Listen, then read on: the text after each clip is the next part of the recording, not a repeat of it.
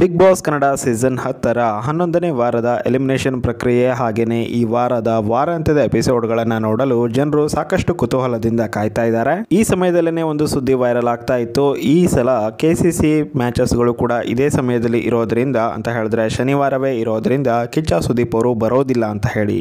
ಆದರೆ ಕಿಚ್ಚ ಸುದೀಪ್ ಅವರು ಬಂದಿಲ್ಲ ಅಂತ ಹೇಳಿದ್ರೆ ವಾರಾಂತ್ಯದ ಎಪಿಸೋಡ್ ಏನಿದೆ ಟಿ ಆರ್ ಪಿ ಖಂಡಿತವಾಗ್ಲೂ ಕಡಿಮೆ ಮಾಡ್ಕೊಳ್ಳುತ್ತೆ. ಹಾಗೆಯೇ ಎಲಿಮಿನೇಷನ್ ಪ್ರಕ್ರಿಯೆ ಎಲ್ಲ ಹೇಗೆ ಅನ್ನುವಂತಹ ಚಿಂತೆ ಕೂಡ ಇತ್ತು. ಹೀಗಾಗಿ ಈ ವಾರದ ವೋಟಿಂಗ್ ಲೈನ್ಸ್ಗಳನ್ನು ಗುರುವಾರ ರಾತ್ರಿ ಹನ್ನೊಂದು ಗಂಟೆಗೆ ಕ್ಲೋಸ್ ಕೂಡ ಮಾಡಲಾಗಿತ್ತು. ಹಾಗೆಯೇ ಶುಕ್ರವಾರ ಈ ಒಂದು ಎಪಿಸೋಡ್ನ ಶೂಟಿಂಗ್ ಆಗುತ್ತೆ. ಹಾಗೆಯೇ ಆ ಒಂದು ಎಪಿಸೋಡನ್ನು ಶನಿವಾರ ಮತ್ತು ರವಿವಾರ ಟೆಲಿಕಾಸ್ಟ್ ಮಾಡ್ತಾರೆ ಅಂತ ಹೇಳಲಾಗ್ತಾ ಇತ್ತು. ಆದರೆ ಇವಾಗ ಒಂದು ಹಂಡ್ರೆಡ್ ಪರ್ಸೆಂಟ್ ಪಕ್ಕ ಮಾಹಿತಿ ಸಿಗ್ತಾ ಇರುವಂಥದ್ದು ಅದೇನಪ್ಪ ಅಂತ ಹೇಳಿದ್ರೆ, ಕೆಚ್ಚ ಸುದೀಪ್ ಅವರು ಇವತ್ತು ಯಾವುದೇ ರೀತಿಯಾದಂತಹ ಒಂದು ಶೂಟಿಂಗಲ್ಲಿ ಭಾಗವಹಿಸಿಲ್ಲ. ಸೊ ಹೀಗಾಗಿ ನಾಳೆ ಕೂಡ ಕೆಚ್ಚ ಸುದೀಪ್ ಅವರನ್ನು ನಾವು ತೆರೆ ಮೇಲೆ ನೋಡೋದು ಅನುಮಾನ ಅಲ್ಲ. ಹಂಡ್ರೆಡ್ ಪರ್ಸೆಂಟ್ ಕನ್ಫರ್ಮ್ ಆಗಿದೆ. ಕಿಚ್ಚ ಸುದೀಪ್ ಅವರು ಶನಿವಾರ ಮತ್ತು ರವಿವಾರದ ಎಪಿಸೋಡ್ಗೆ ಈ ಸಲ ಬರ್ತಾ ಇಲ್ಲ. ಹಾಗಂತ ಎಲಿಮಿನೇಷನ್ ಆಗೋದಿಲ್ವಾ ಅಂತ ನೀವು ಕೇಳೋದಾದ್ರೆ ಖಂಡಿತವಾಗ್ಲೂ ಎಲಿಮಿನೇಷನ್ ಪ್ರಕ್ರಿಯೆ ಆಗೇ ಆಗುತ್ತೆ. ಈ ಹಿಂದೆ ಕೂಡ ಬಿಗ್ ಬಾಸ್ ಕನ್ನಡ ಸೀಸನ್ನ ಇತಿಹಾಸದಲ್ಲಿ ಹಲವು ಬಾರಿ ಕಿಚ್ಚ ಸುದೀಪ್ ಅವರು ಬರದೇನೆ ವಾರಾಂತ್ಯದ ಎಪಿಸೋಡ್ಗಳು ಕಂಪ್ಲೀಟ್ ಆಗಿದ್ದಾವೆ ಹಾಗೆಯೇ ಎಲಿಮಿನೇಷನ್ ಪ್ರಕ್ರಿಯೆ ಕೂಡ ಕಂಪ್ಲೀಟ್ ಆಗಿದೆ. ಬಿಗ್ ಬಾಸ್ ಅವರು ಒಂದು ಆಕ್ಟಿವಿಟಿ ಅಥವಾ ಒಂದು ರೀತಿಯಾಗಿರುವಂತಹ, ಡಿಫರೆಂಟ್ ಆಗಿರುವಂತಹ ಟಾಸ್ಕ್ ರೀತಿಯಲ್ಲಿ ಒಂದು ಸೆಟಪ್ಪನ್ನು ರೆಡಿ ಮಾಡ್ತಾರೆ. ಹಾಗೆಯೇ ಅಲ್ಲಿ ಅವರು ಎಲಿಮಿನೇಟ್ ಆಗ್ತಾ ಇದ್ದಾರೋ ಅಥವಾ ಸೇಫ್ ಆಗ್ತಾ ಇದ್ದಾರೋ ಅನ್ನೋದನ್ನು ಅನೌನ್ಸ್ ಮಾಡ್ತಾ ಹೋಗ್ತಾರೆ. ಸೊ, ಈ ರೀತಿಯಾಗಿ ಡಿಫ್ರೆಂಟ್ ಆಗಿರುವಂತಹ ಆಕ್ಟಿವಿಟಿನ ಕೊಟ್ಟು ಅವರು ಸೇಫ್ ಆಗ್ತಾರೆ ಅಥವಾ ಎಲಿಮಿನೇಟ್ ಆಗ್ತಾರೆ ಅನ್ನೋದನ್ನು ಹೇಳ್ತಾ ಹೋಗ್ತಾ ಇದ್ರಲ್ವ? ಸೊ, ಅದೇ ರೀತಿಯಾದಂತಹ ಕಾನ್ಸೆಪ್ಟನ್ನು ಯೂಸ್ ಮಾಡಿಕೊಂಡು ಈ ಸಲ ಕೂಡ ಎಲಿಮಿನೇಷನ್ ಪ್ರಕ್ರಿಯೆ ಆಗತ್ತೆ ಅಂತ ಹೇಳಲಾಗ್ತಾ ಇದೆ. ಅಥವಾ ನಿಮ್ಮಲ್ಲಿ ಹಲವರಿಗೆ ನೆನಪಿರಬಹುದು ಬಿಗ್ ಬಾಸ್ ಮನೆಯಲ್ಲಿ ಕಣ್ಮಣಿ ಅನ್ನುವಂತಹ ಒಂದು ಕಾನ್ಸೆಪ್ಟ್ ಕೂಡ ಇತ್ತು. ಯಾರಿಗೂ ಕೂಡ ಗೊತ್ತಾಗದೇ ಇರುವಂತಹ ಒಂದು ವ್ಯಕ್ತಿಯ ಧ್ವನಿ ಬರ್ತಾ ಇತ್ತು.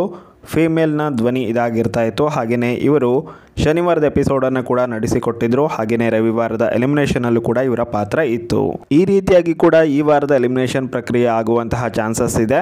ಬಟ್ ಸ್ವತಃ ಬಿಗ್ ಬಾಸೇನೆ ಮುಂದೆ ನಿಂತು ಈ ವಾರದ ಎಲಿಮಿನೇಷನ್ ಪ್ರಕ್ರಿಯೆಯನ್ನ ಮಾಡೋದು ಹೆಚ್ಚಿನ ಚಾನ್ಸಸ್ ಇದೆ. ಕಿಚ್ಚ ಸುದೀಪ್ ಅವರು ಬಂದಿದ್ರೆ ಈ ವಾರ ಖಂಡಿತವಾಗ್ಲೂ ತುಂಬ ಜನರಿಗೆ ಸರಿಯಾಗಿ ಕ್ಲಾಸ್ ತಗೊಳ್ಳೋದು ಬಾಕಿ ಇತ್ತು.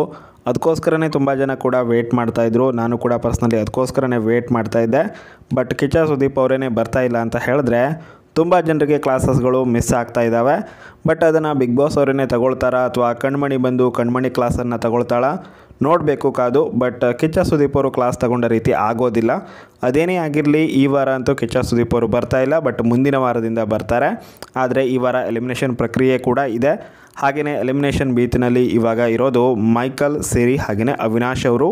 ಫೀಮೇಲ್ ಕಂಟೆಸ್ಟೆಂಟ್ಸ್ ಹೋಗೋದಾದರೆ ಸಿರಿಯವ್ರು ಹೋಗೋದಂತೂ ಕನ್ಫರ್ಮ್ ಇಲ್ಲ ಅಂತ ಹೇಳಿದ್ರೆ ಅವಿ ಅಥವಾ ಮೈಕಲ್. ಇಬ್ಬರಲ್ಲಿ ಒಬ್ರು ಹೋಗ್ತಾರೆ. ಜಾಸ್ತಿ ಚಾನ್ಸಸ್ ಇರೋದು ಅವಿ ಅವರು ಎಲಿಮಿನೇಟ್ ಆಗೋದು. ಇವಾಗ ಎಲಿಮಿನೇಷನ್ ಪ್ರಕ್ರಿಯೆ ಏನಿದೆ? ನಾಳೆ ಶುರುವಾಗುತ್ತೆ. ಸೊ ಹೀಗಾಗಿ ನಾಳೆ ಬೆಳಿಗ್ಗೆ ಅಥವಾ ಮಧ್ಯಾಹ್ನದ ಒಳಗಾಗಿ ಯಾರು ಎಲಿಮಿನೇಟ್ ಆಗ್ತಾರೆ ಅನ್ನೋದನ್ನು ನಾನು ನಿಮಗೆ ಆದಷ್ಟು ಬೇಗ ತಿಳಿಸ್ಕೊಡುವಂತಹ ಪ್ರಯತ್ನ ಮಾಡ್ತೀನಿ. ಸೊ ಹೀಗಾಗಿ ಚಾನಲನ್ನು ಸಬ್ಸ್ಕ್ರೈಬ್ ಮಾಡಿ ಇಟ್ಕೊಂಡಿರಿ. ಡಿಸ್ಕ್ರಿಪ್ಷನ್ ಬಾಕ್ಸಲ್ಲಿ ಟೆಲಿಗ್ರಾಮ್ ವಾಟ್ಸಪ್ ಚಾನಲ್ನ ಲಿಂಕ್ ಇದೆ. ಜಾಯ್ನ್ ಆಗಿರಿ. Thank you so much